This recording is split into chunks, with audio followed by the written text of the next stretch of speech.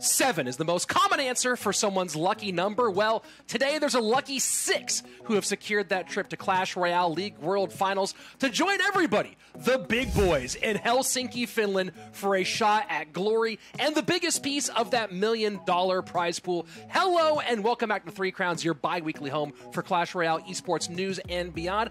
I'm Rich Slaton, that's Andrew Ghai, and we are here to bring you all the most important stuff. And of course, rounding out the squad today is two time regional Clash Royale League champion Joshua A.C. Sharon. Andrew, community events are over. We're getting ready for the big show.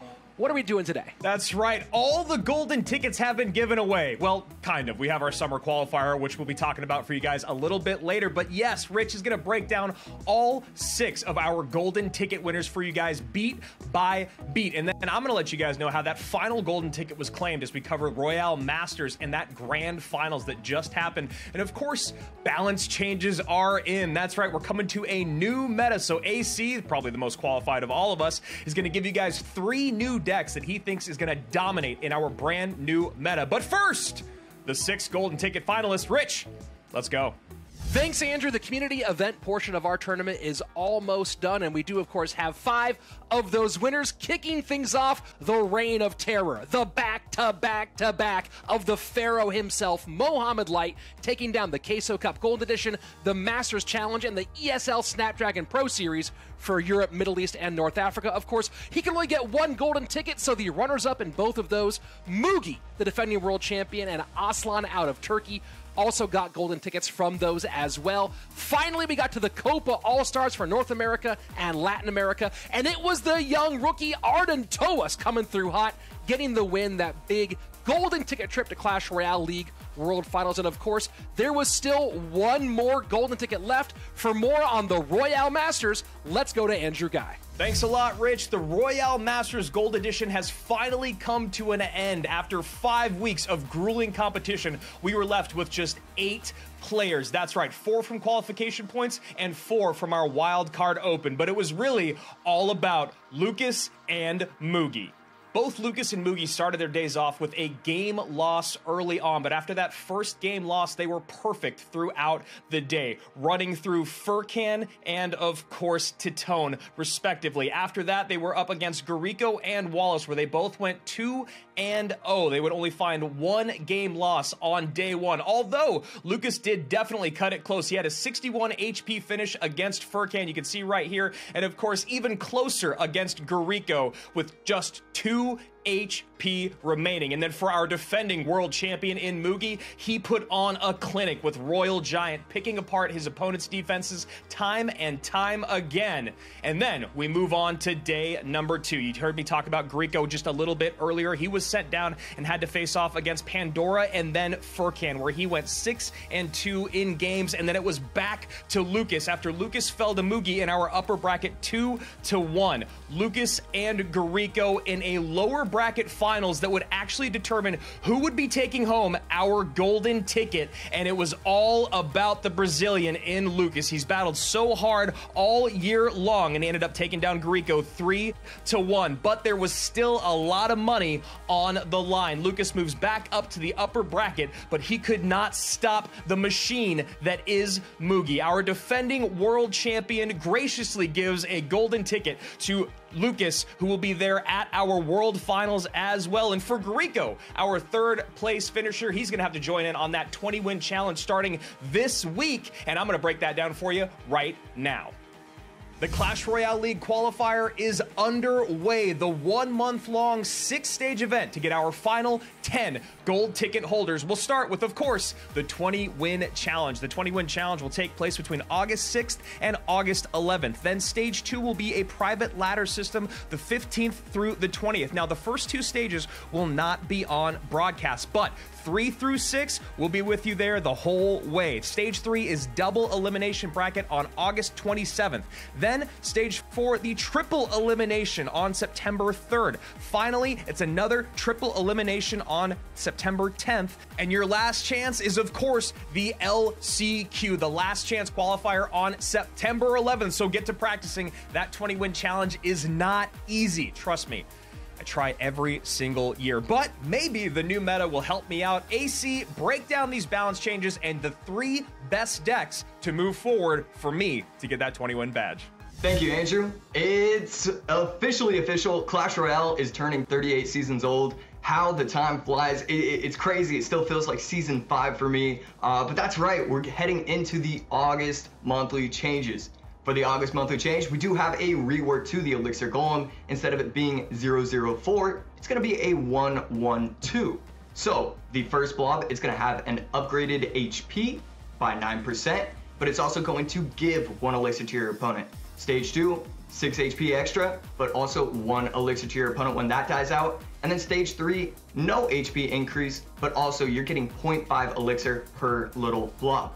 On the other side, we do have the buffs. The Prince and the Ram Rider are both getting charge increases. So instead of it needing 3.5 tiles in order for it to get the charge, it now only needs 3.0.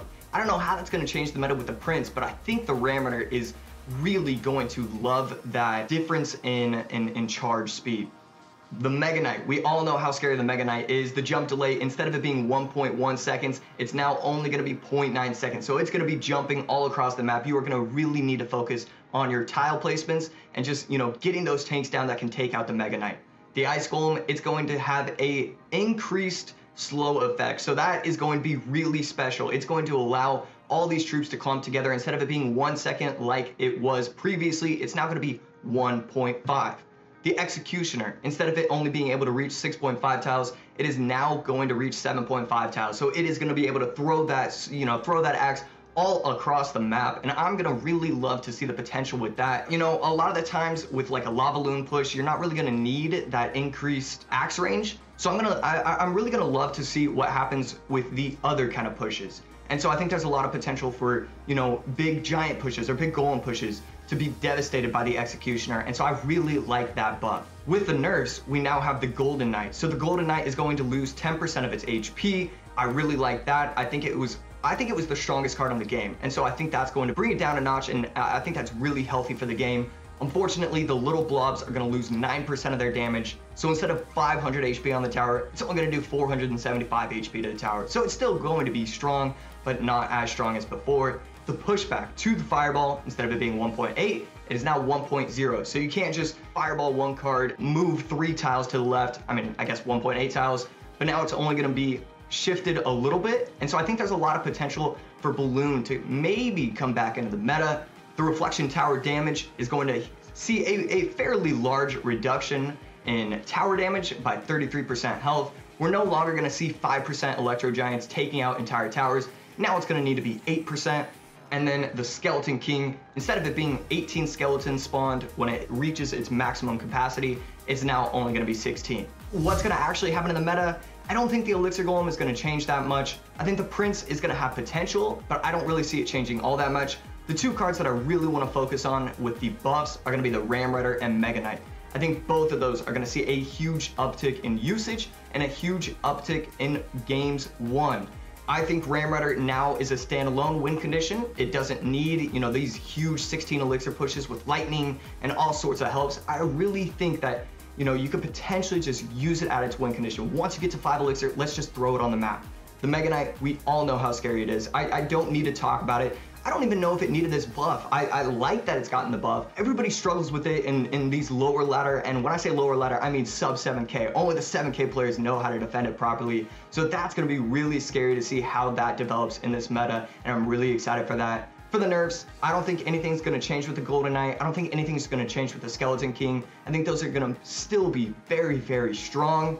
And overall, I think we, we've taken a great look at some of the strongest cards and, and, and kind of dialed them back a bit. And then for the buffs, I love the buffs. I think Ram Rider is going to be so cool to see in the meta. And yeah, I'm, I'm excited to see what happens to the meta overall. That's going to be enough for the August monthly changes. I'm giving it back to you, Rich and Andrew. Thanks, Josh, for coming in hot with those deck recommendations. Andrew, big, big balance update. I know some of that stuff might get into into your decks here. What's uh, what's got your goat right now? Well, right now, I, all I'm thinking about is how much more Elixir Golem I'm going to run into. Even though, even if it's better or worse, people are just going to try it out again, and I hate playing against Elixir Golem. And the other part of it is Fireball. I need that Fireball to blow up those blobs and knock back the support troops. So I, right now, am just feeling a little, uh, you know, You need a hug, a little bit of a, a little bit of a something at the moment. please. Well, you know what? The, the most cuddly character in the whole game, my personal favorite, got a buff. Ice Golem can come give you a nice big frozen hug. He, that little extra slow, uh, that's going to be so cool. If, if everyone knows, Ice Golem's my absolute favorite, so happy to see him get a little bit Yep. of love finally. Uh, Andrew, speaking of love, what do you love telling our viewers every single time at the end of this show?